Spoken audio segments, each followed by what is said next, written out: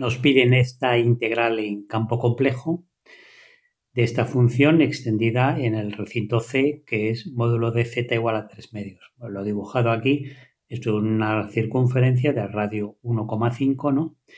Y vamos a hacerlo por el teorema de los residuos o del residuo, que dice que una integral de una función de z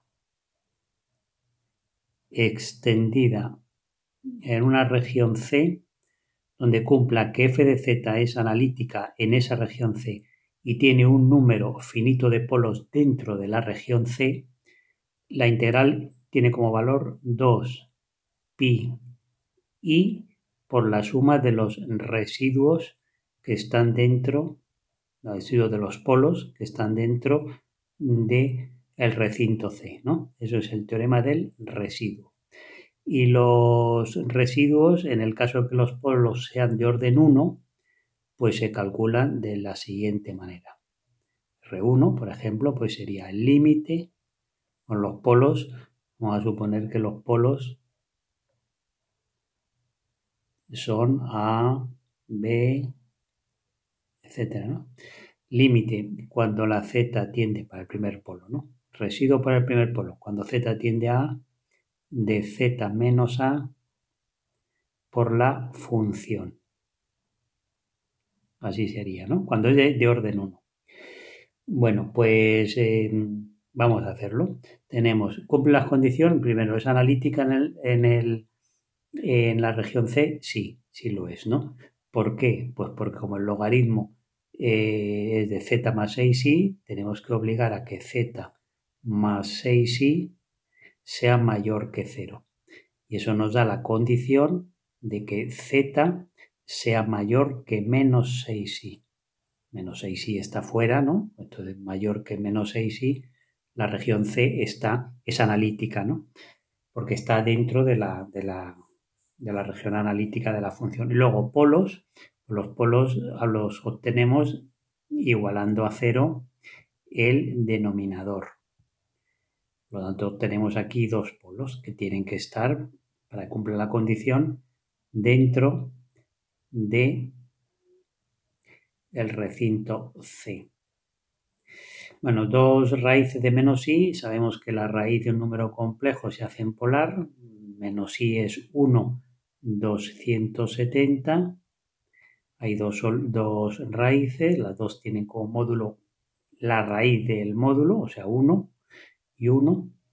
Y de argumento, pues la fórmula que decimos, ¿no? Argumento del complejo que quiero hacer la raíz más 360k dividido entre el índice de la raíz, siendo k 0, 1, 2, etcétera, ¿no? Y n es el índice de la raíz. Ya en nuestro caso será 270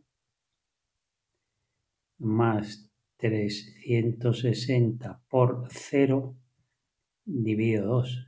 Esto nos sale para el primero 135. Y luego si acá le damos el valor 1, pues nos saldrá 315. ¿no? Es como se hace la raíz de un número complejo. Bueno, em, si lo ponemos en binómica, pues 1 coseno de 135 más 1 seno de 135, esto nos daría un complejo que estaría por aquí, ¿no?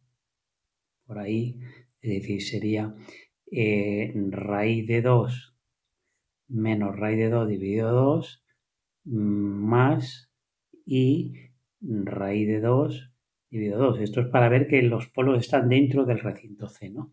Y este otro pues será raíz de 2 dividido 2 menos y raíz de 2 dividido 2.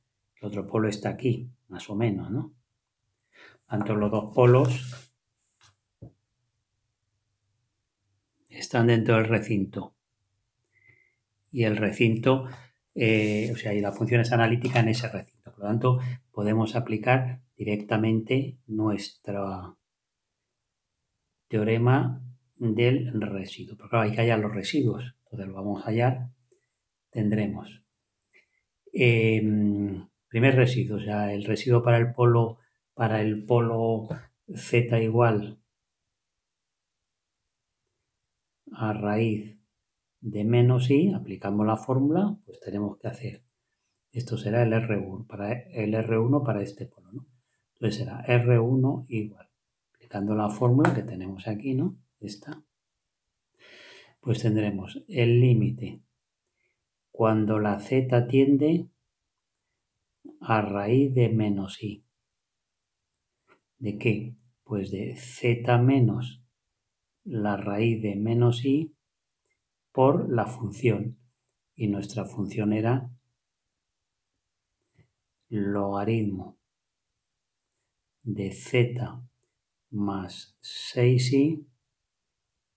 Y ahora aquí la divido, pues la puedo dividir entre z menos raíz de menos i por z más raíz de menos i, porque así puesto de esta manera, pues podemos simplificar, ¿no? Y entonces nos quedará como valor del residuo 1, simplemente sustituir la z por raíz de menos i. O sea que sería logaritmo de raíz de menos i más 6i dividido entre la z que es raíz de menos i más raíz de menos i. O sea que simplificándolo ya, logaritmo de raíz de menos i más 6i y dividido entre 2 raíz de menos i. Este es el residuo para el polo raíz de menos i. Y para el, residuo 2, que lo es, que lo vamos a calcular para el polo menos raíz de menos i, pues lo haremos igual, ¿no? O sea, diríamos R2 igual límite cuando la z tiende a menos raíz de menos i de eh, z más raíz de menos i por la función, o sea, logaritmo z más 6i dividido lo mismo, ¿no? z menos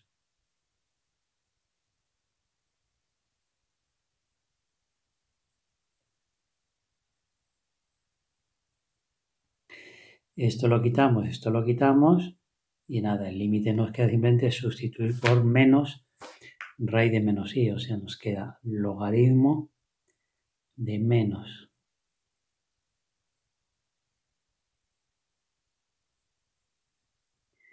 y aquí abajo pues menos 2 raíz de menos i. Por lo tanto ya podemos aplicar, ya escribimos la respuesta, ¿no? Sería eh, la integral, y vamos a llamarla, y igual, 2 pi. Y por la suma de los residuos. El primero, logaritmo, logaritmo de raíz de menos i más 6i, todo ello dividido entre 2 raíz de menos i. Y luego la otra más, pero como tiene este signo menos, pues ya podemos poner menos logaritmo.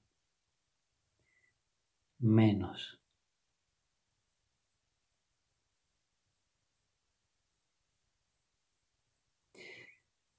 Y aquí ponemos 2 Sacando factor común, el 2 raíz de menos i, con este 2 se va, por lo tanto la integral ya, y como es una resta, podemos poner cociente para el logaritmo, ¿no? Ponemos pi i entre raíz de menos i por el logaritmo de eh, raíz de menos i.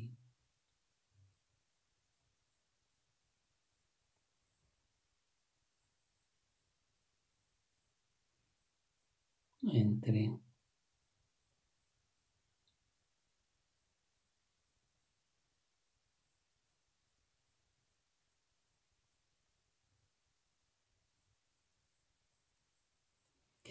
Y esto sería la respuesta.